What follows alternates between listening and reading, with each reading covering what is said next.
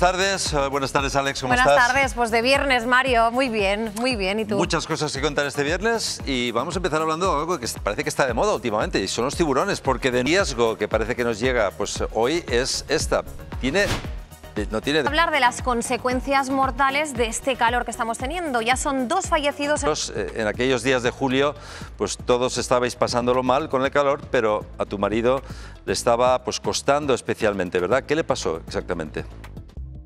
Pues sí, la verdad. Eh... Nuestra compañera está con profesionales sanitarios que nos van a dar pautas para prevenirlo, Andrea. Vamos a ver por dónde empezaríamos en el caso de tener una urgencia.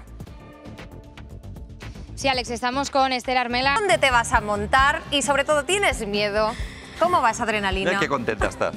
Madre mía, Una risa compañero, nerviosa, ¿eh? eh, trabajar en tiempo al tiempo. Os doy unos consejitos para ahorrar y probar la mejor fruta. Atentos.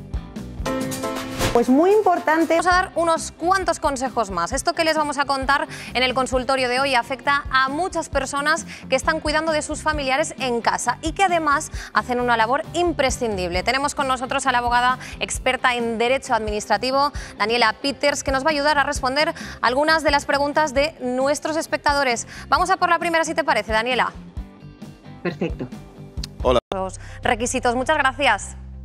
Muchas gracias a ustedes. Comentarles que desde Administrativando Abogados hemos tramitado numerosas solicitudes de ayuda y todas han sido. Lo tenemos en cuenta. Gracias, gracias. Muchísimas Daniela. gracias. Hasta luego.